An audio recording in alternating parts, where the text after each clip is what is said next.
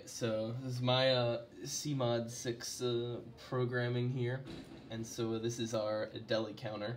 And so before I explain anything, what's supposed to happen is I'm going to hit the, uh, the S key, and every time I hit the S key, it's going to go up in increments of uh, just one, one at a time, and then once it hits 9, all the lights down here are going to disappear. One light's going to light up there to represent 10, and so on. So it's going to go count up to 80.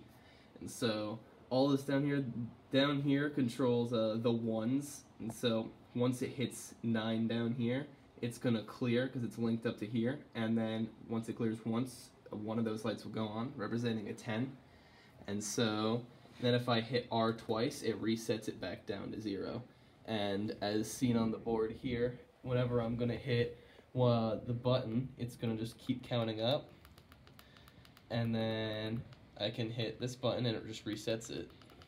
And that's the deli counter.